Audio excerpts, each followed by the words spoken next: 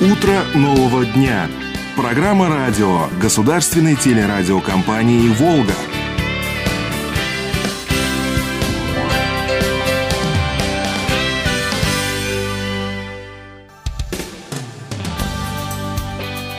Здравствуйте! Сегодня среда, 22 марта. У микрофона Алексей Сорокин. В утреннем эфире вы услышите Ульяновская область перешла в активную фазу подготовки к посевной. Посевные работы могут начаться раньше запланированного срока. Об этом на штабе по комплексному развитию региона заявил глава Минсельхоза области Михаил Семенкин. В трех километрах от поселка Красный Гуляй Сингелеевского района находится единственный в Ульяновске комплекс пещер «Змеиная горка», который является памятником природы – это излюбленное место туристов и начинающих спелеологов. Правильное питание – основа для поддержания здоровья женщин в любом возрасте. Если в рационе недостаточно питательных веществ, то нарушаются обменные процессы, и это отражается на всех системах организма. Советы по правильному питанию для женщин даст главный терапевт Ульяновской области Надежда Рогожина – открывает утреннюю программу мой коллега Евгений Слюняев. Он расскажет о знаменательных событиях и интересных фактах, произошедших в этот день.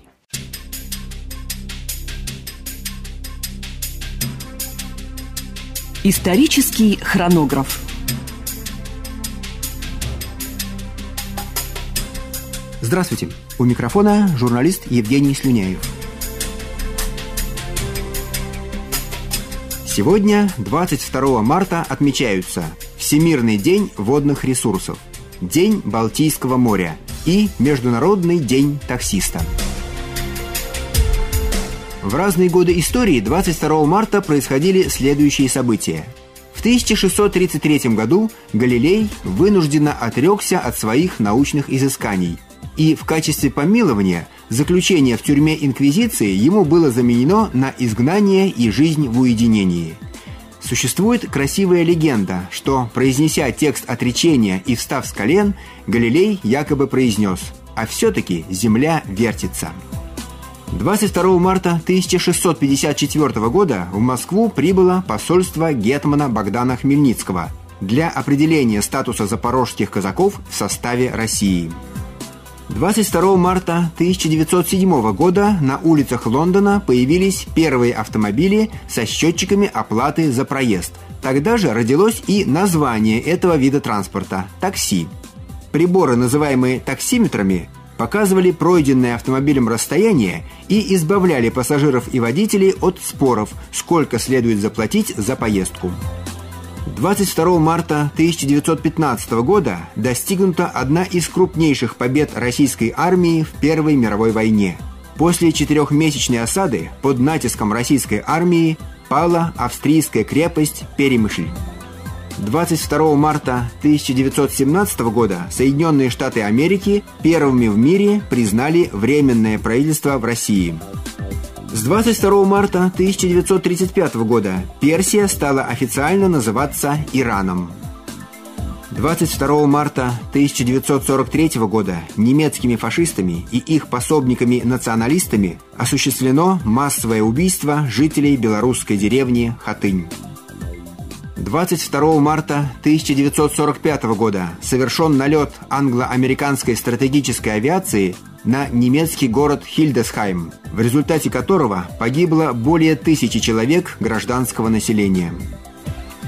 22 марта 1951 года на базе Московского телецентра на Шаболовке создана Центральная студия телевидения СССР.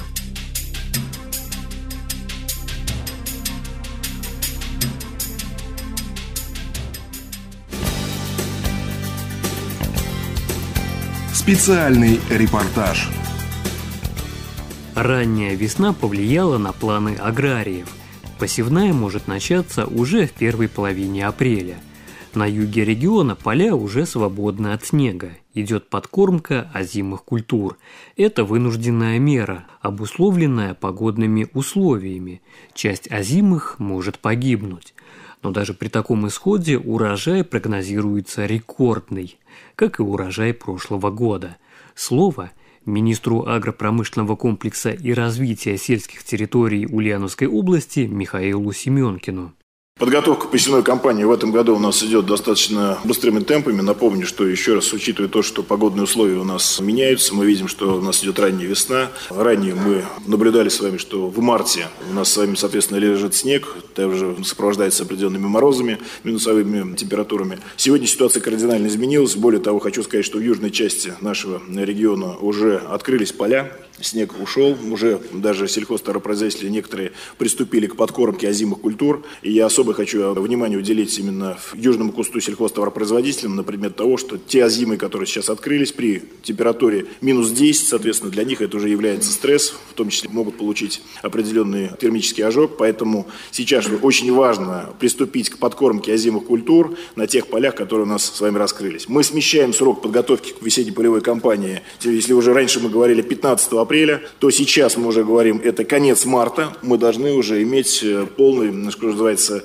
боевой комплект э, всех сельхозтоваропроизводителей, в частности, я речь веду о сельхозмашинах, они должны быть готовы 100%, у нас на сегодняшний день 95% готовы сельхозтехники, осталось, грубо говоря, вот нам с вами всю сельхозтехнику привести в 100% готовности для того, чтобы выйти на поля. Главная задача наша на сегодняшний день – это закрыть влагу, потому что мы понимаем, что вся продуктивная влага, которая у нас с вами сталых вод, должна была войти, соответственно, в поля, учитывая промерзание почвы она ушла, соответственно, вся эта влага во враги, в поймы реки, и влаги как таковой мы с вами по весеннему таянию снега не получим. Поэтому сейчас основная задача будет это максимально оперативно закрытие влаги и приступить уже э, к севу буквально в начале апреля текущего года. По семенному запасу, скажем так, у нас с вами обеспеченность 114%, здесь никаких рисков у нас нет. По гибели озимых культур мы на сегодняшний день пока не фиксируем. Еще раз говорю, мы будем уже понимать, когда э, окончательно снег сойдет, зимы раскроют, соответственно, и будем уже проводить мониторинг и четко понимать уже, какая ситуация у нас по состоянию озимых. В целом, по тем монолитам, которые мы вместе с Россельхозцентром проводили обследование в феврале месяце, у нас на сегодняшний день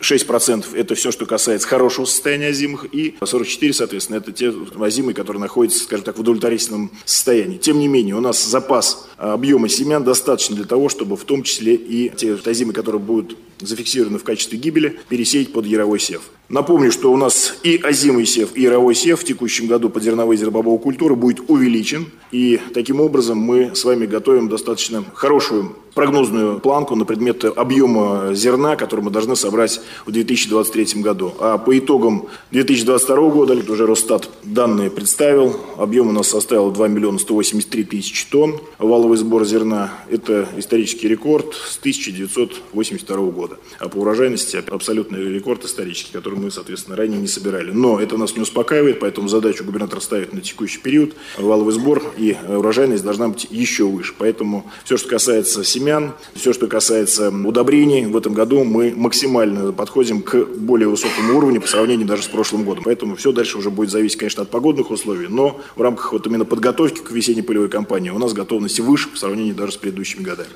Также в областном центре по традиции открылся сезон весенних сельскохозяйственных ярмарок. Овощи, мясо, мед и другие продукты жители города могут купить по сниженным ценам. Минсельхоз формирует и направляет сельхозтоваропроизводителям рекомендованную стоимость того или иного товара. Следующая ярмарка пройдет в Ульяновске 25 марта на улице Минаева. Продолжит министр агропромышленного комплекса и развития сельских территорий Ульяновской области Михаил Семенкин. Начался старт наших областных сельскохозяйственных ярмарок весенних. Мы провели 11 марта первую ярмарку в железнодорожном районе на проспекте Гая.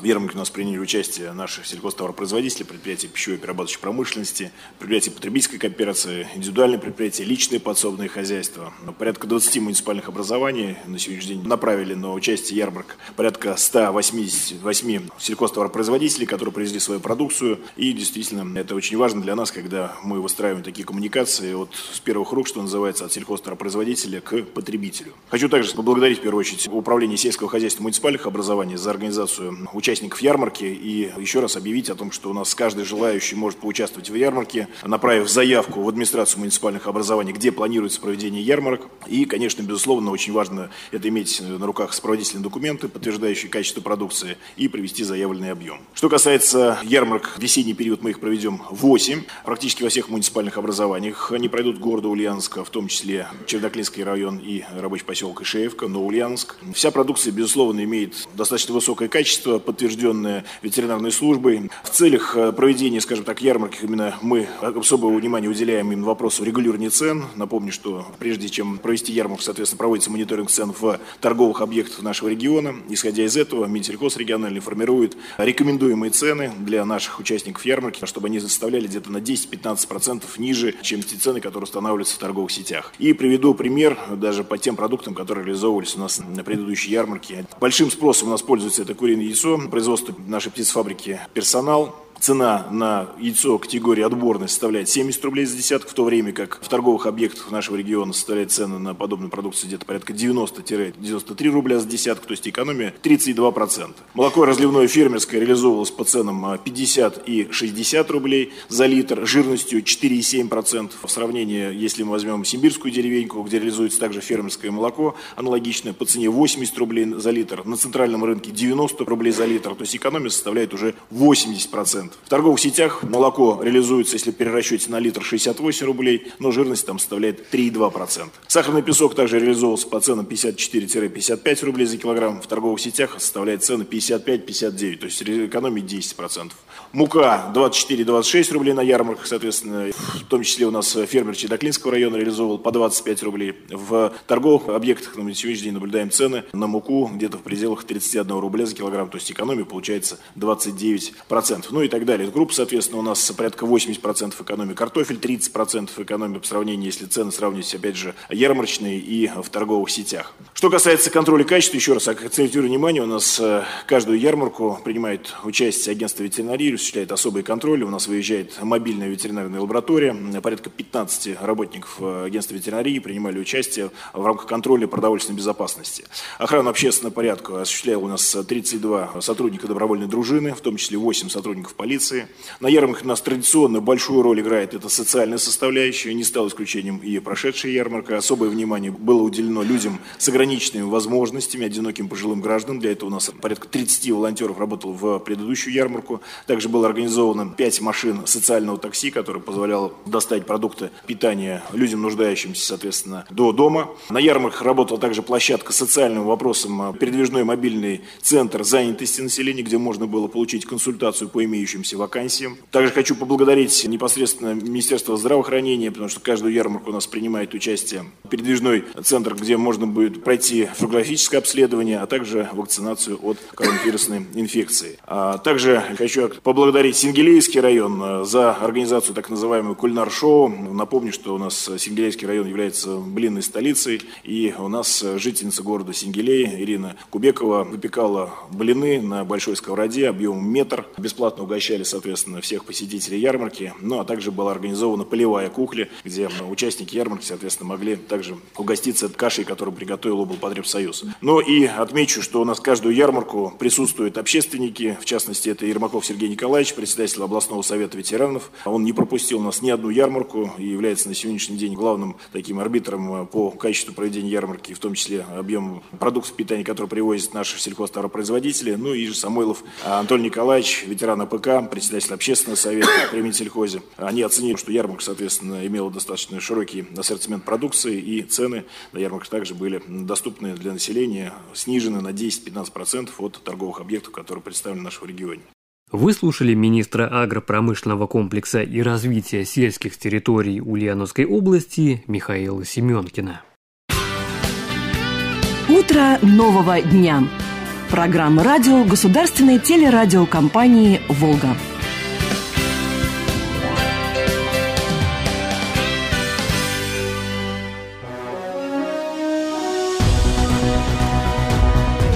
Радио России Ульяновск. Спорт. В Ульяновске завершился чемпионат и первенство ПФО по кикбоксингу в разделах «Фулл контакт» и К1.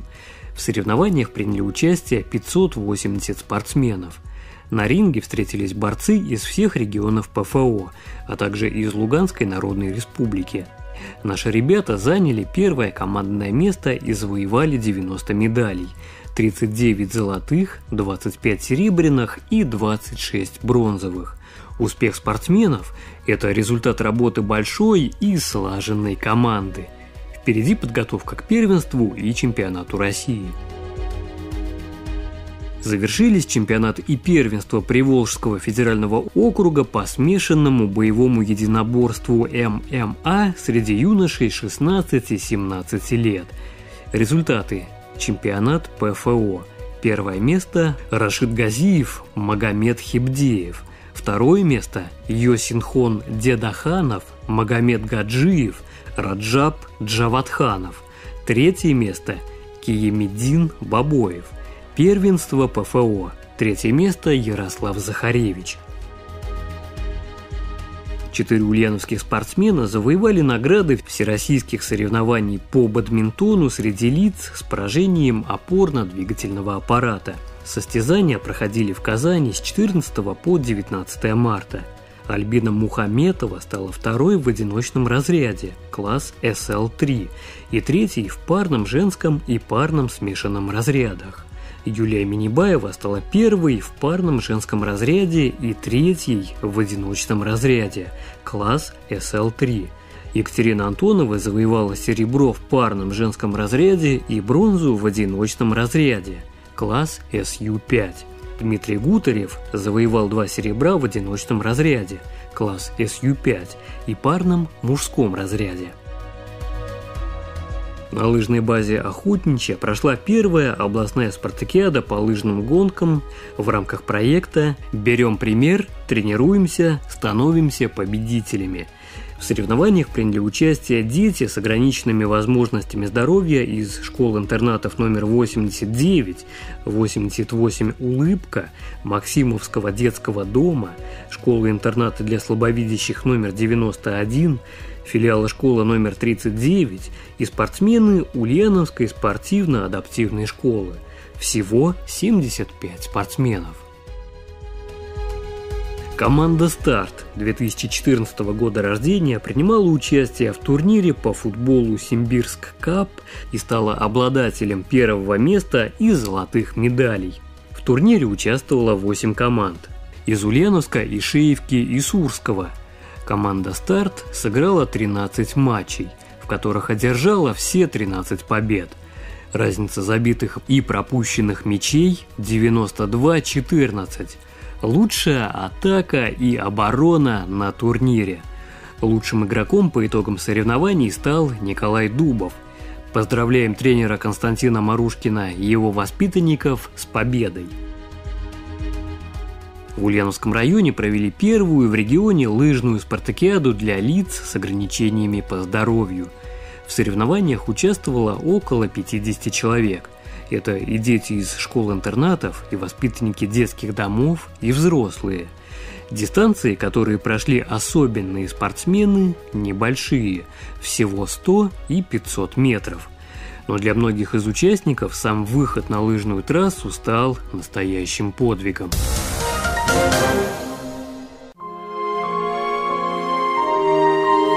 Наш край – Ульяновская область. Недалеко от села Красный Гуляй в Сингелеевском районе находится редкое для нашего края природное творение – Змеиная горка. Это сеть совсем небольших холмов, раскинувшаяся на пару километров – Однако место на самом деле удивительное. Там соединяется подземный мир и мир лесной. Среди смешанного леса находятся каменные глыбы, а среди них пещеры, довольно глубокие и просторные. Впрочем, входа в них не так-то просто найти. Местные зовут этот участок Змеиной горкой. Название Змеиная горка это место получило не просто так. Змей там действительно много. Встречаются и ядовитые гадюки. Главная пещера представляет собой карстовый разлом с пустотами протяженностью около 80 метров и состоит из трех залов. Самый большой из них достигает 5 метров в высоту и 12 в диаметре. Глубина пещеры в среднем 5 метров, а кое-где и 9. В дальних залах есть небольшие сталактиты. Над входом в пещеру нависают гигантские камни. Люди, желающие попасть в пещеру, часто выполняют ритуал с просьбой к хозяйке пещер пропустить их внутрь и выпустить обратно. Очаровательный лес, камни, пещеры, легенды – все это делает место очень притягательным. Особенно хорошо здесь золотой осенью. Однако на Змеиной горке слишком много мусора от туристов. Если вы направитесь в это место с ночевкой, не забудьте взять с собой воды – поскольку источников рядом нет. Спускаться в пещеру нужно по импровизированным ступеням, а в лаз пробираться на четвереньках. Преодолев проход среди бугристых каменных стен, вы попадаете в первый зал, который уходит вниз и налево. Высота этого зала больше человеческого роста, и туда пробивается дневной свет. Чтобы попасть в следующий зал, нужно проползти еще несколько метров, так как лаз низкий. Следующем зале уже полная темнота и тишина, а пещера идет дальше. Температура в пещере около нуля градусов. Чем дальше спускаться в пещеру, можно ощутить теплый ветерок. На стенах растет красивый зеленый мох и лишайники. В каменных пустотах около пещер есть брошенные гнезда птиц. Говорят, в пещерах когда-то была замечена летучая мышь кажан двуцветный. По рассказам местных жителей, Летом в пещерах много ящериц. Внутри пещеры есть камни, которые сверкают при свете фонарей. Это камни из белого кварцевого песка. На вид он совершенно белый, такой редко где увидишь. Бытует мнение, что в пещерах раньше добывали чистейший кварцевый песок. Он там повсюду, на стенах, потолке и на полу. Песок сухой и чистый, на нем приятно просто полежать. Особенность пещер в песчаниках – их удивительно легко копать. Ходы в пещере широкие, и чтобы продвигаться вперед, достаточно разгребать песок в стороны. Говорят даже, что подземелья являются искусственно созданными каменоломнями. Можно увидеть следы от тонких каналов, которые бурили для закладки взрывчатки – Итак, можно сделать вывод, что Змеиная горка с ее пещерами и карьерами не только памятник природы, но и памятник истории горного промысла. Здесь можно проводить организованные экскурсии по изучению флоры и фауны горного дела. На поверхности, недалеко от входа в пещеру, есть уникальное природное сооружение – каменный мост. Он представляет собой толстую балку, протянутую от одной скалы до другой – Такие мосты довольно редко встречаются в природе, но этот, по всей видимости, творение человеческих рук. Возможно, мостом стала часть потолка еще одной подземной штольни. С этим местом связано несколько легенд. Одна из них говорит о том, что когда-то, прогуливаясь по мосту, парочка влюбленных оступилась и упала вниз. Другая легенда гласит, что когда проходишь по мосту, следует загадать желание – Многие уверяют, что оно обязательно сбудется. Только вот ходить по мосту следует аккуратно, глядя под ноги. Змеиная горка находится в 30 километрах от Ульяновска, в двух с половиной километрах от поселка Красный Гуляй Сингелеевского района. Доехать до поселка можно на автобусе. Самый быстрый вариант по маршруту Ульяновск-Силикатный. Время в пути составит 45 минут. Если вы отправляетесь в путь на автомобиле, то нужно выехать на трассу Ульяновск-Сызрань. У Больших Ключищ повернуть налево в сторону Сингелея. За поворотом на Ламы проехать прямо и через 400 метров повернуть на Красный Гуляй. Затем через поселок выбраться на западную окраину и двигаться прямо вдоль учебного аэродрома. Ориентир – небольшая горка, которая чуть видна среди леса. Эта горка и есть Змеиная. А вот от Красного Гуляя до Змеиной Горки придется идти пешком по полю километра 2-3. Дорога там есть, но после дождей в колее можно и увязнуть.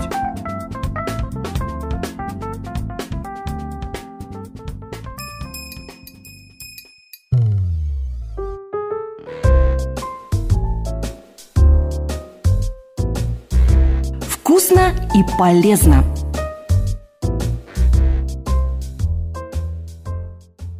С вами Наталья Кузина и региональный центр общественного здоровья. С весной женщины расцветают. Конечно, эта расхожая фраза в первую очередь касается женской внешности. Женщины скидывают теплые одежды, которые их могли полнить. Вместо теплых колготок – тонкие чулочки. Вместо громоздких и тяжелых шуб – обтягивающие курточки и кофточки. Красавицы! Ах, беда, пуговка не сходится на юбочке или изящных брючках. За зиму располнела, набрала лишний вес. Ужас, кошмар, караул. И женщина садится на изнуряющую диету. И так практически на протяжении всей жизни. Ну да, красивой и стройной хочется быть всегда. А вот медики оценивают красоту женщин по-другому – это здоровая кожа, волосы, ногти. Здесь уже облегающей блузкой или дорогим кремом для лица не отделаешься. Здоровье кожи, волос и ногтей приходят изнутри, в зависимости от того, чем и как женщина питается. Нет изнуряющим и бестолковым диетам, говорят врачи. Нет смертельно опасной анорексии – есть надо все, только из чайных блюдцев, вторит им балерина Галина Уланова. Крупы, овощи и фрукты с клетчаткой, витаминами и микроэлементами, рыба, мясо, жиры – все должно быть в рационе женщины. Главный терапевт Ульяновской области Надежда Рогожина уточнит, что именно. Есть мнение, что сохранить женское здоровье и красоту – помогут специальные продукты. Так ли это на самом деле? Современная медицина не выделяет питание для женщин в отдельную категорию. Все в рамках здорового сбалансированного питания. Отличия могут быть в количестве суточных калорий и некоторых нутриентов, минералов, витаминов. Они зависят от пола и возраста. Беременным женщинам и кормящим мамам приходится тратить больше энергии – но это не значит, что и есть нужно за двоих. В первую очередь нужны овощи и фрукты. Они обеспечивают организм клетчаткой, питательной средой для микрофлоры кишечника, большим количеством витаминов, особенно группы В, бета-каротидами. Они снижают риск сердечно-сосудистых заболеваний. Нормы – это как минимум 400 грамм в сутки или 5 порций. Делать это нужно не только летом, а круглый год. Можно также употреблять тушеные, замороженные, консервированные овощи и фрукты. Обратить внимание на зерновые продукты. Они являются важнейшими компонентами полноценного женского рациона. Содержат медленные углеводы, наш основной источник энергии и клетчатки. В отличие от быстрых, легко усвояемых, эти углеводы надолго сохранят чувство насыщения. Кроме этого, в оболочке зерен содержится много витаминов, поэтому цельные злаки, неочищенный рис, или по-другому еще говорят коричневый, бурый, пшеница, овес, а также хлеб из цельнозерновой муки предпочтительны к употреблению.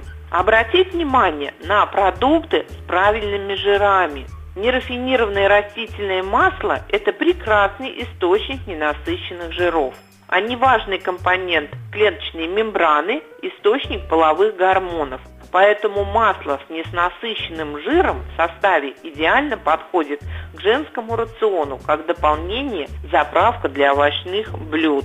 При этом нужно быть осторожны с продуктами, которые содержат трансжиры, жареные блюда, готовая еда, фастфуд и готовые полуфабрикаты. Обращаем внимание на источник витамина D и кальция. Около 90% женщин не употребляет достаточное количество витамина D, и примерно 60% испытывают недостаток в кальции. Вот такие данные были опубликованы. А эти нутриенты важны для здоровья костей и суставов, особенно в постменопаузе. В этот период процесс разрушения костной ткани происходит намного быстрее. Больше всего витамина D содержится в морской жирной рыбе, лосось, сардина, сельдь, скумбрия. Также дефицит обоих нутриентов помогут восполнить молочные продукты. Иногда они дополнительно обогащены витамином D и кальцием. Поэтому не нужно забывать регулярно включать в меню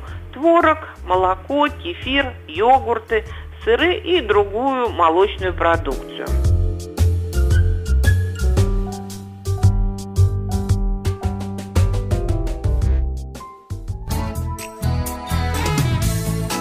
Говорим и пишем правильно.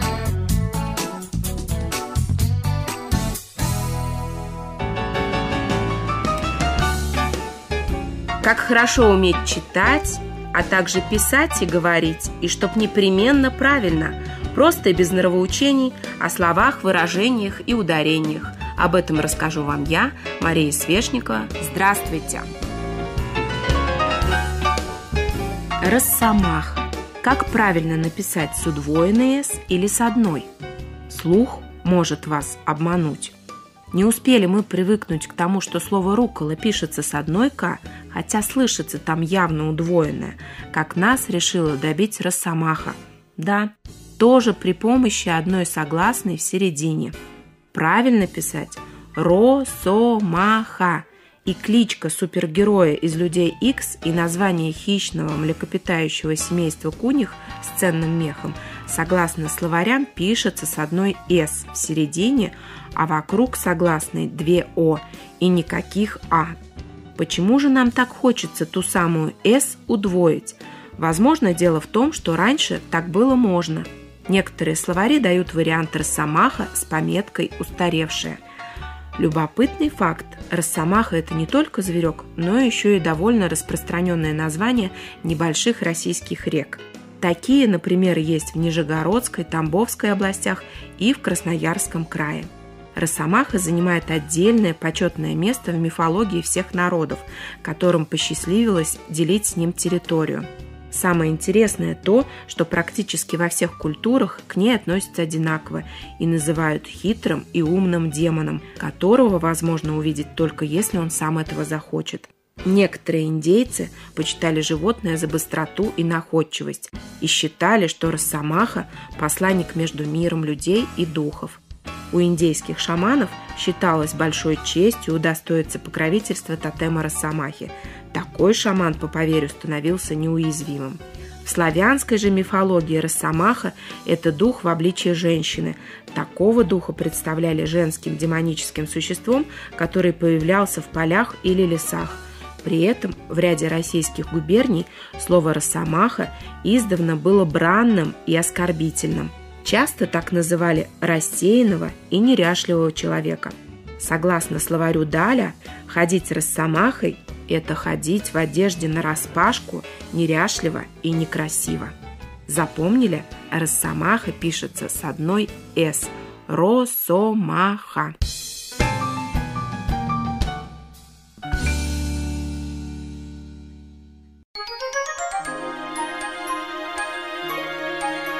Этот день в истории музыки. В этот день появились на свет – композитор, пианист Анджело Бадаламенти, певец, актер Джереми Клайд, певец, продюсер, телеведущий Александр Цекало, автор песен, музыкант, певец, заслуженный артист Российской Федерации Валерий Сюткин. В зимний день ты грустишь почему-то, может быть, на суденышке утла на загадочный огонек. Также в этот день в мировой и отечественной культуре произошли следующие события. В 1963 году группа Beatles выпускает свой первый долгоиграющий альбом «Please, Please Me», который сразу же занимает лидирующие позиции в британских хит-парадах. В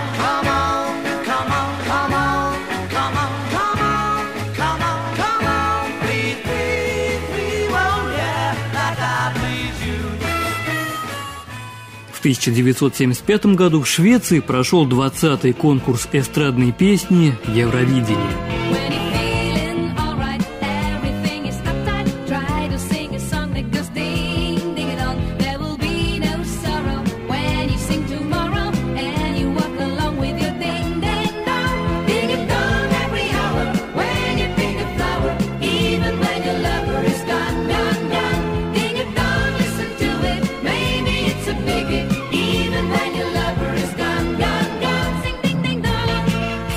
1980 году открылся легендарный рок-фестиваль «Весенние ритмы молодежи-80» в Тбилиси. Там выступали группы «Автограф», «Интеграл», группа Стаса Намина, «Аквариум». Фестиваль длился 8 дней. Под небом голубым есть город золотой С прозрачными воротами и яркою звездой А в городе том сад Все травы да цветы Гуляют там животные невиданной красы. В 1988 году состоялся первый концерт московской группы «Дым». В 1992 году было официально объявлено о прекращении существования группы Tears for Fears. Ее вокалист и композитор Роланд Орзабал оставил за собой право использовать бренд Tears for Fears. За время существования проект выпустил 15 хитов.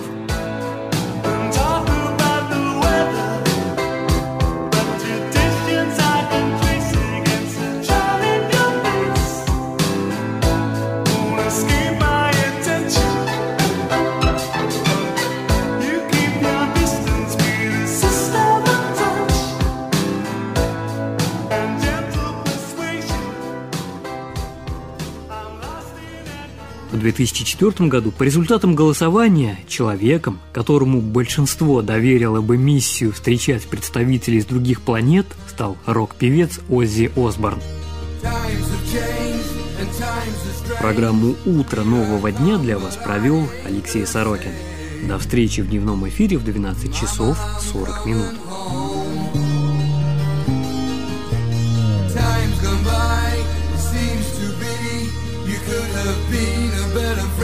To me.